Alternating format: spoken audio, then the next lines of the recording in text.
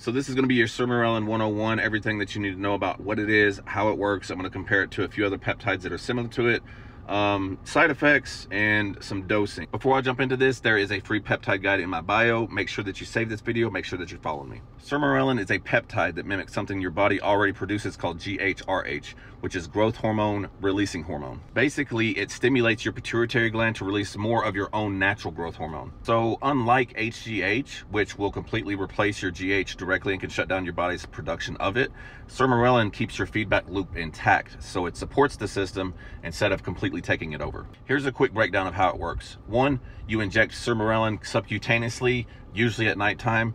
Two, then it's going to bind to GHRH receptors in your pituitary. Number three, it's going to trigger a pulse of growth hormone.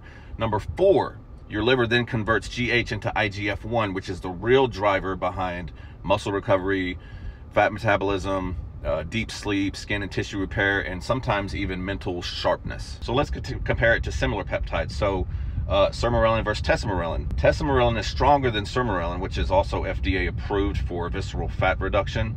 Um, it's great, uh, but tesamorelin is more aggressive and a little bit more pricey. CJC 1295, which is very similar to sermorelin, and it's often stacked with other peptides to help boost uh, growth hormone pulses. Also similar to ipamorelin, but ipamorelin works on a different pathway, which is the ghrelin receptor but when stacked with sermorelin or CJC, they amplify each other. Most people run this at 100 to 300 micrograms per night subcutaneously, 30 to 60 minutes before bed. You can cycle it for three to six months minimum to really feel a difference. Um, you can also run it solo or stack it with ipamorelin or CJC 1295 for a stronger growth hormone response. And side effects. There's basically not many side effects, mild headaches, uh, sometimes fatigue, similar things with other peptides.